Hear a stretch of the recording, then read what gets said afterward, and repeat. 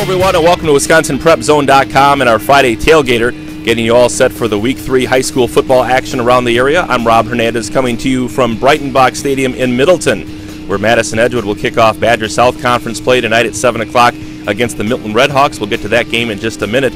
Our featured game tonight on WisconsinPrepZone.com and in Saturday's Wisconsin State Journal features the Middleton Cardinals, the other team that calls Breitenbach Stadium home as they hit the road for Breese Stevens Field to take on Madison East in a showdown game in the Big Eight Conference. Yes, that's right. I said a showdown game in the Big Eight. Middleton, my pick to uh, win the Big Eight Conference, uh, overwhelming favorite at the start of the season, has been anything but overwhelming in getting to off to a 2 0 start.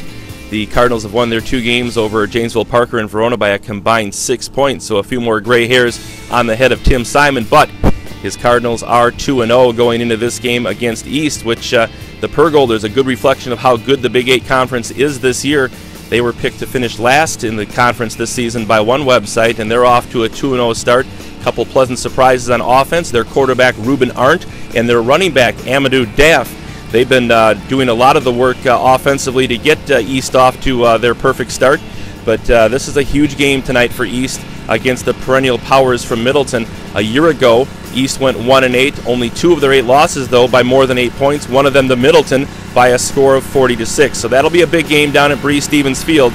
John Mason will have all your updates right here on WisconsinPrepZone.com, and of course his write-up in the Saturday Wisconsin State Journal.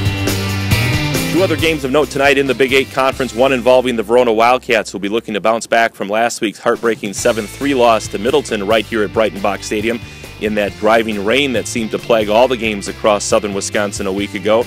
Verona hits the road this week for Monterey Stadium in Janesville, where the Wildcats will take on Janesville Craig, looking to avenge last year's controversial loss to Craig and at the same time maybe knock the Cougars out of their share of first place in the Big Eight. Craig off to a 2 0 start following wins over Beloit Memorial and crosstown rival Janesville Parker. And don't overlook Madison La Follette's game tonight at Mansfield with Madison West. The Lancers are the other team off to a 2 0 start and tied for first in the Big Eight Conference. But West has lost two tough games to Verona and Madison East, so the Regents figure to be a handful for La. Again, that game tonight, 7 o'clock over at Mansfield. Switching gears back to the Badger South and coming right back here to Breitenbach Stadium. As we mentioned earlier, Madison Edgewood opening conference play tonight against Milton in a 7 o'clock game. Mike Hockett will be here with all your updates on WisconsinPrepZone.com. The Crusaders of Madison Edgewood off to an 0-2 start, but both of those losses to good, good teams out of the Badger North, Waunakee and Reedsburg, both those teams 2-0 so far this season. Milton has only lost once so far this season. That last week at home to Waunakee, a 28-0 setback. So a big ball game here to kick off Badger South Conference play between Edgewood and Milton. In theory, both those teams trying to keep pace with Monona Grove. Elsewhere in the Badger South, speaking of Monona Grove, they've got a tough one tonight down at Oregon. Two teams off to 2 0 starts following Badger Conference crossover play the first two weeks of the season. And uh, Monona Grove, though, looking awfully, awfully good under first year coach Brandon Beckwith.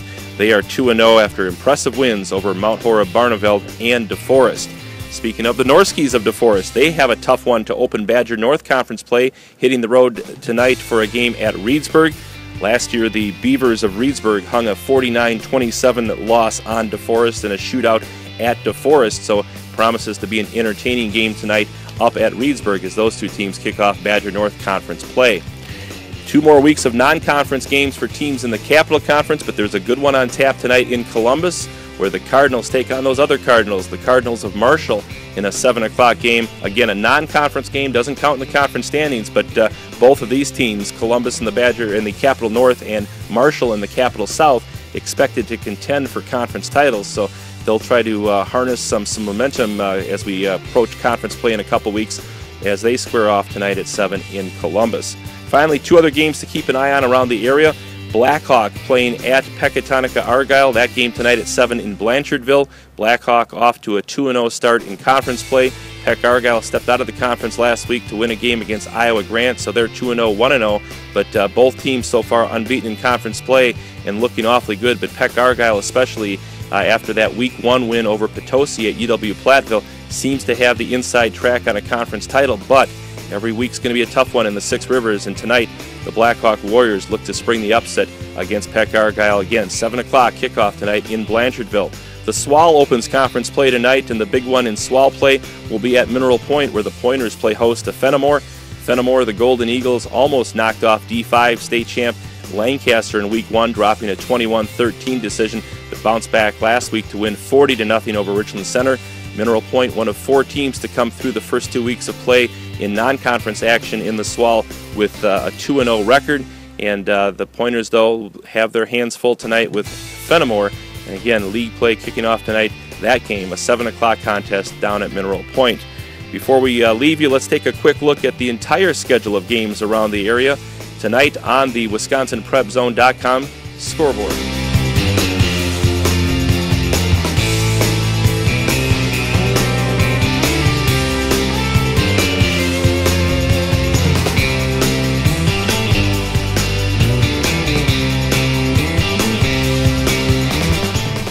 So there you have it, the full schedule of games from around the area tonight. And of course, we'll have all your scores, updates, and observations from the games on our live blog at wisconsinprepzone.com and on madison.com. You can check out uh, that uh, starting at about 4:30 this afternoon. We'll get that fired up and uh, give us uh, join the conversation on Twitter. That hashtag again, pound WISFB, the football hashtag for all the scores and updates from games that you might be at around the area or if you want to check out uh, the uh, updates, of course, check out our live blog at wisconsinprepzone.com. We'll be pulling in tweets from all over the area, all over the state with uh, week three action. Of course, we just rolled out a new look to our website at wisconsinprepzone.com, so look for that wisconsinprepzone.com logo. That'll be your point of entry to our live blog tonight on wisconsinprepzone.com. So there you have it. That's our week three Friday tailgater from Breitenbach Stadium in Middleton. For WisconsinPrepZone.com, I'm Rob Hernandez.